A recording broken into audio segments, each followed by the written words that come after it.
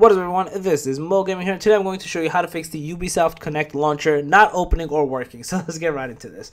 So there's a few ways to basically fix this. The first thing is you want to open up your task manager and make sure it is not running here anywhere in this process. Basically, let's say this was it, Google Chrome as an example. You want to find anything that says Ubisoft Connect, right click into it and end the task for everything that might say Ubisoft Connect. That's the first thing you want to do. The next thing is you want to basically find wherever its main path is. So basically right click click into go to your search bar, type in Ubisoft Connect, do open file location, and as you can see over here, we found the main Ubisoft Connect uh, exe file. You can go back as well and see like where they are, but you want to go to this main one over here. You want to right click. This is the shortcut, so you do want to find where the actual file location is so you can always go from right click into it again to find the actual one so you saw that I did it twice right once you have the Ubisoft Connect .exe here as you can see right click into this click into properties, go to compatibility, and to run this program as administrator. So you want to do this for all four EXEs that you see over here.